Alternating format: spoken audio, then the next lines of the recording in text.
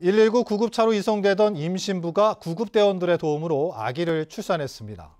제주 동부소방서에 따르면 지난 19일 밤 9시 반쯤 임신부가 출산이 임박했다는 신고가 119에 접수돼 표선 119 센터 구급대원들이 이송하던 중 10시 14분쯤 건강한 여자 아기를 출산했습니다. 동부소방서는 응급분만 특별교육을 실시하고 구급차에 분만 키트를 갖추고 있습니다.